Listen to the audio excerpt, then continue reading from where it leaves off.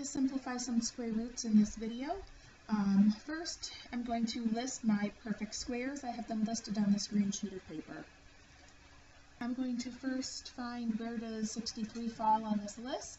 It falls between 49 and 64. So I'm going to check and see which of these numbers, 49, 36, 25, 16, 9, 4, which one is the biggest one that could divide into 63 a whole number of times. So down here at the bottom I'm going to do some division. I'm going to start with 63 divided by 49. I'm checking, does that go into 63 a whole number of times? No, I get a decimal number when I do this division, so 49 doesn't work. Now I'm going to go on to 36. 63 divided by 36. When I do this division, again, I end up getting a long decimal number. I do not want to use this. So I go on to the next perfect square, 25. So I'm going to do 63 divided by 25. Again, when I do this division, I get a decimal number, so it does not work. I continue. I do 16 next. 63 divided by 16. Again, I am not getting a whole number when I do this division, so I need to continue. Uh, my last one I have to try in order is 9.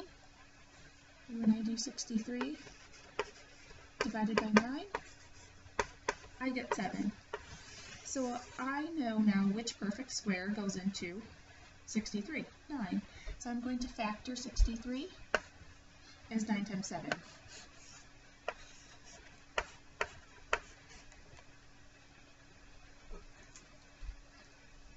And I'm going to also keep track of my perfect square of 9 over here on the side. So now I'm going to use my product property of square roots and rewrite this as the square root of 9 times the square root of 7. And then I'm going to evaluate my square root of 9. The square root of 9 is 3 because 3 times 3 is 9. And I'm going to bring down my square root of 7. And then my last step, I'm going to just rewrite this without the multiplication symbol. So my answer is 3 times the square root of 7. And here's my answer.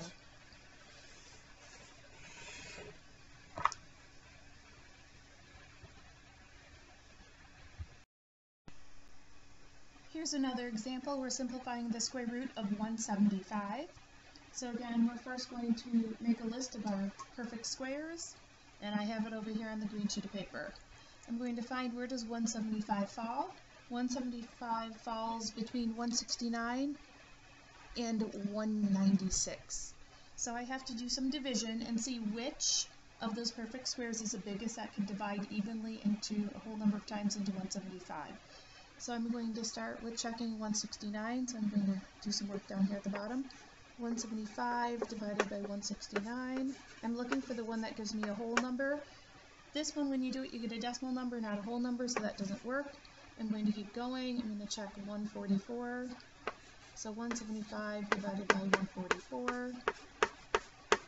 Again, when I do this division, I don't get a whole number, I get a decimal number, so that tells me this one doesn't work. So I'm going to check 121 now. I'm just going in order here. 175 divided by 121. When I do this division, I get a decimal number, not a whole number. Now when you're doing this at home on your own, you don't have to write all these down. I'm just showing you on the board. So next I have 175 divided by 100. Again, that does not work. Okay, I'm not going to write the rest down. Um, now I'm going to check 81. 175 divided by 81, that one gives you a decimal number. When I divide by 64, I get a decimal number.